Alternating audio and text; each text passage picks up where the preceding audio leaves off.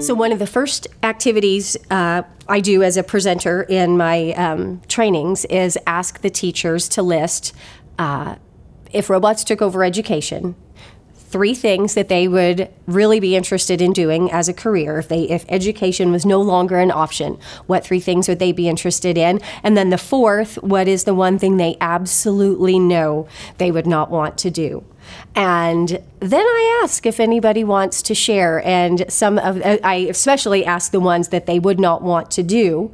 And we all, you know, get a good laugh and we talk about why.